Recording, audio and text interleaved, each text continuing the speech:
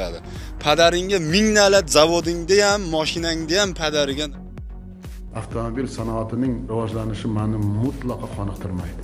Agar hisob kitobni qilsak ketgan xarajat bilan bergan preferensiya bilan davlatimizga mana shu qanday foyda ko'rsatyapti? Odamlarga yengil arzon korrupsiyasiz avtomobillarni yetkazib bera olyapmizmi degan savolga. Padaringga ming navlat javobimiz zavodingda ham mashinangda ham padariga navlat yaqinda bittasi chiqib olib to'ylarda osh qiladigan oshpazga ham soliq joriy qilish kerak deydi. Shashlikpazga ham soliq joriy qilgin.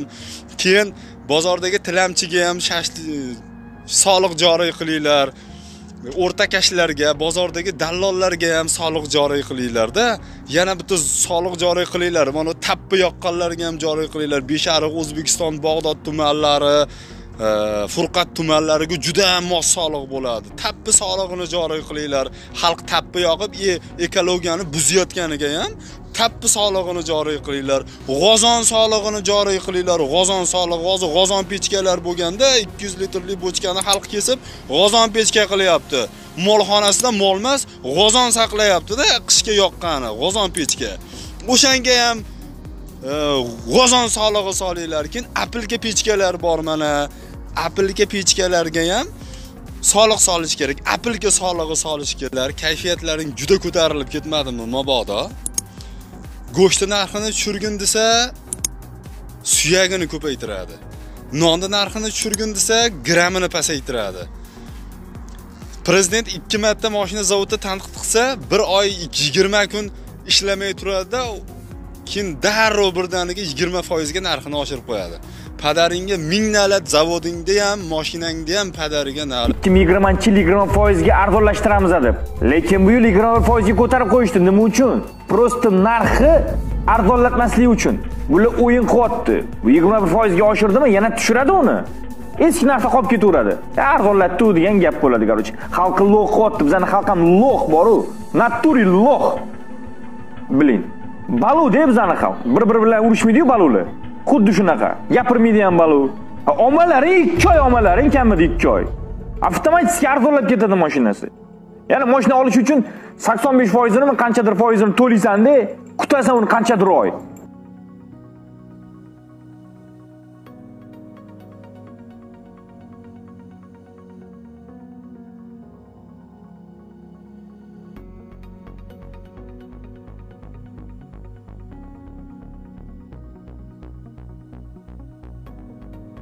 To'rt trillion nds to'laymiz deymiz kechirib qo'yasiz nds siz to'lamaysiz.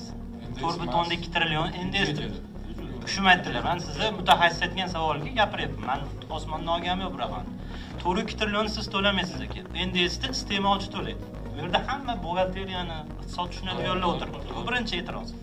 Ikkinchisi halidan beri aksiyalarni gapiryapsiz. Qo'llagan aksiyalaringizni hammasi sotilmayotgan qimmat mashinalarga nisbatan bo'ldi. Tracker malibu. Man ko'rmadim birorta damazga yoki eng ommabop matizga yoki nexia uchga yigirma foiz o'n besh foiz narx tushirib aksiya qilganingizni ko'rganim yo'q. Yoniga qo'shib berayotgan man siz javob berdingiz endi man gapirib qo'shib berayotgan velosipedingiz u aksiya hisoblanmaydi. Kechirib qo'yasiz jahon tajribasida u aksiya hisoblanmaydi. Endi uchinchi narsa savol berdilar jahon bozorida narx teng rossiyada ham narximiz teng deyaptilar. Ana aytib berdingiz rossiya bilan biz narx teng deyapmiz lekin sherigingiz aytyaptilar rossiyaga o'sha komplektuющий narsalarimiz talabga asosan qo'yamiz. Agar biz uni o'zbekistonga qo'ysak o'z o'zidan narx oshadi deyaptilar demak bundan kelib chiqib turibdiki siz rossiyaga jo'natayotgan mashinangizga ko'proq xarajat qilyapsiz unga qimmatroq komplektuющий qo'yyapsiz. Chem o'zbekistonga chiqaryapganingiz bu degani asli rossiyaga sotilayotgan mashinangiz o'zbekistonga nisbatan arzon sotilyapti. Chunki u qimmatroq qism bilan uni arzon teng narxda sotyapsiz. Agar qism nimasidan oladigan bo'lsak u yerdagi narx asl narx tan narx demak bu yerdagi nisbatan qimmat. Bu sizni javobingizni sherigingiz o'zi откazib berdi keyingi narsa. Endi devalyatsiyani gapiryapsiz.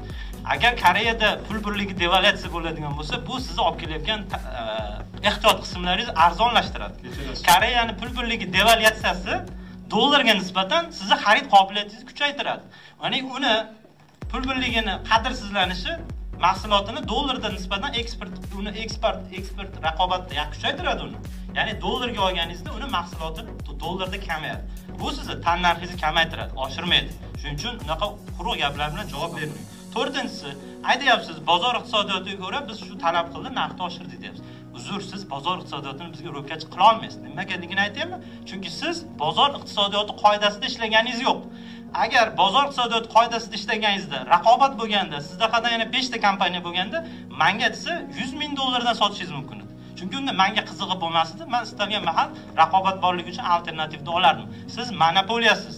Siz bozor iqtisodiyotiga amal qilganingiz yo'q. Bozorni qoidalari bilan ishlaganingiz yo'q. Shuning uchun bizga bozorni qoidalarini ro'kach qilmang endi savolga keladigan bo'lsam aytyapsiz mahsulot tannarxi oshdi siryo oshgani uchun oshirdik deyapsiz. Nds qo'shildi lekin eng qizig'i negadir narxlar faqatgina o'sha aholi eng ko'p oladigan eng ommabop sotiladigan damas nexia uch oshyaptida nisbatan gentra uch foiz oshyapti va eng asosiysi o'sha qimmat mashinalaringiz ya'ni siz chiqarmaydigan asli import qiladigan mashinalaringiz oshgani yo'q. Siz ularni chiqarmaysiz. Biz chiqaramiz deysiz lekin uni manimcha Padaringga ming na'lat zavodingda ham, moshinangda ham padariga na'lat.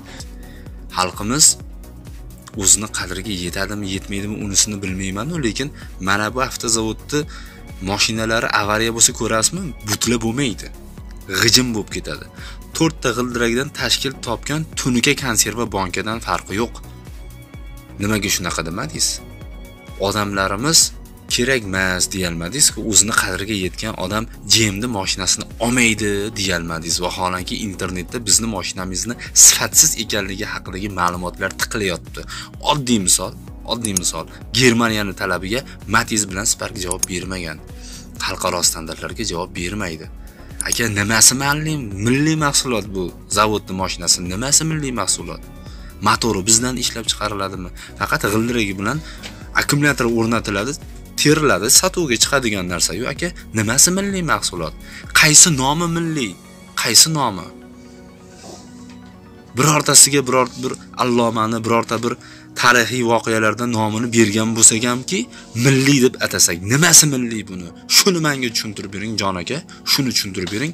Lekin sizni hurmat qilaman. Hali birorta o'zbekistonda birorta deputat islomiy banklarni tashkil qilish haqida jon kuydirgani yo'q. Lekin siz kuydiryapsiz harakat qilyapsiz. Mana shuning uchun ham sizni hurmat qilaman aka. Sizdan iltimos qilaman. Savolimga javob berishingiz nimasi milliyligini menga iltimos. Mana shu savol sizga jon aka.